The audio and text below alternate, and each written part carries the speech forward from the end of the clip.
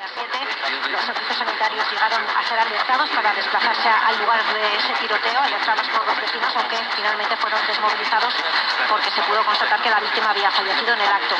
La Guardia Civil se ha hecho cargo de esta investigación. Y el diario oficial de la Generalitat publicaba ya hoy las ayudas directas a profesionales y empresas del sector turístico de la comunidad. Son 18 millones de euros. Presentación de solicitudes que van a ser a partir del 22 de febrero por vía telemática.